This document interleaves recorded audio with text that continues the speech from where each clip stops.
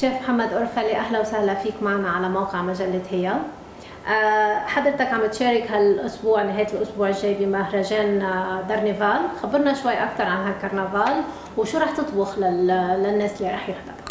هلا أهلا وسهلا فيك وبهيا. بتمنى أن تكونوا معنا الأسبوع الجاي لأنه هذا المهرجان رح يكون آه، برعاية Discovery و beIN رح يكون ضمنه كذا فعالية بهذا المهرجان. رح يكون عندنا فتافيت kitchen رح يكون عندنا شيء للاولاد الصغار اسمه D Kids ورح يكون عندنا شيء لل D Family اللي هي للعيلة أكثر فرح نطبخ أنا ورفقاتي بفتافيت آه، تقريبا رح نبلش آه، من يوم الجمعة والسبت من الظهر للمساء. أنا رح أعمل شيء اسمه anticucho كباب بالكرز اللي هي وصفة مستوحاة من الكباب الكرز التقليدية الحلبية؟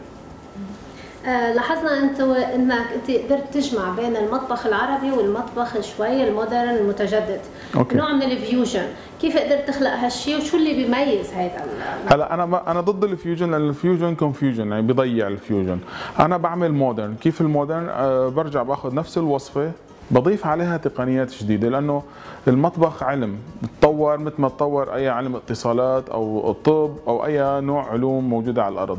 فأنا شو بعمل؟ بس برجع باخذ هل نفس الأكلة نفس المكونات وبقلبها بطريقة معاصرة هي بضيف عليها تقنية جديدة للوصفة. يعني مثل أنا الكباب بالكرز هي عبارة عن مثل نوع فتة مع صوص الكرز وطابات اللحمة وعليها من فوق القرفة والصنوبر وبقدونس أنا عاملة بسياخ لحمة آه، لحمة شقف راح أحط عليها من فوق جل معمول من الكرز والخبز بدل ما يكون من تحت يتشتش أو يصير رطب راح أعمله crumble crispy فنفس المكونات بس قلبتهم بطريقة جديدة. بس ما في لا نيتروجين ولا هال هلا النيتروجين ما بيأثر على الطعم.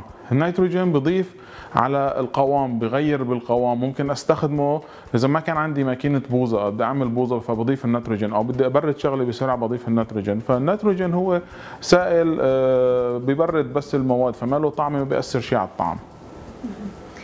في ناس كثير سألتنا إنه شو هي النصائح اللي ممكن محمد أرفلي يعطيها للناس اللي بيحبوا يطبخوا ببيوتهم؟ الطبخ أنا بالنسبة لي فكر حب شغف. الشغف لوحده ما بكفيه لازم يتغذى بالشغف بده القراءة بده بحث لحتى يقدر الواحد آه، يطبخ حلو. وأهم شيء واحد يعرف أصوله يعرف جذوره. فإذا أنا بعرف الأكل تبعي وجذوري مضبوطه بطلع معي أكل طيب يعني لازم أتعلم أول شيء من أمي ومن ستي بعدين بتعلم مطابخ الثانية آه، نصيحة أخيرة بتقدمها لقارئات وقراء آه، موقع هي. أنا بتمنى العالم كلها تطبخ في البيت ترجع تطبخ مني وجر لأنه أنا كثير قليل لأطبخ في البيت. بس الحلو إنه اليوم بصير طبخ بلم العيلة بيجمع العيلة كلها مع بعض. للأسف بوقتنا المعاصر هلأ العالم كلها صارت تشتغل ست البيت تشتغل الرجال عم يشتغل فقليل تلاقي العيلة مجمعة بعض بنفس الطاولة. أه برأيك شو اللي بيميز المطبخ العربي ومخليه واحد من المطابخ الأكثر تميزا حول العالم؟ إذا عم نحكي عن المطبخ العربي عم نحكي عن جوهرة عن كنز كثير كبير. فينا نقسمه لأربع مجموعات. نقسمه لمطبخ الخليج العربي مطبخ بلاد الشام مطبخ شمال افريقيا اللي هي مصر والسودان ومطبخ المغاربة. كلهم بيتكلموا نفس اللهجة. بس كل واحد بيطبخ بطريقة شوي مختلفة.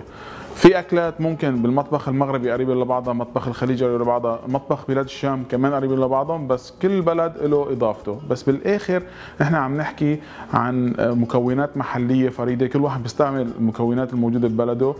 بالإضافة للبهارات بس بدي انوه شغلة إن المطبخ العربي مو بس بهارات، المطبخ العربي تمازج بين الطعمات والنكهات، بنضاف بهارات بس لتطيب نوع الأكل، يعني الأساس تبع أكلنا مو بس البهارات. هلأ في كل بلد مشهورة بنوع بهارات معينة، هذا هو مطبخنا العربي، أنا بشوفه هو خلاصه روح عدة حضارات من أقدم المطابخ في العالم من أهم المطابخ في العالم بس صارت جوهرة منسية بدها بس إعادة تلميع من جديد شو هي النصيحة الأخيرة اللي بتقدمها لقراء وقارئات هي؟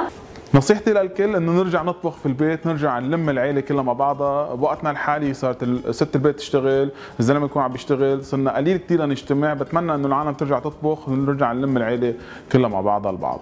فلحتى نطبخ مع بعض شاركونا بمهرجان دارنفال يوم الجمعة والسبت ب 24 25 فبراير لحتى نطبخ كلياتنا سوا. أنا محمد وسلام.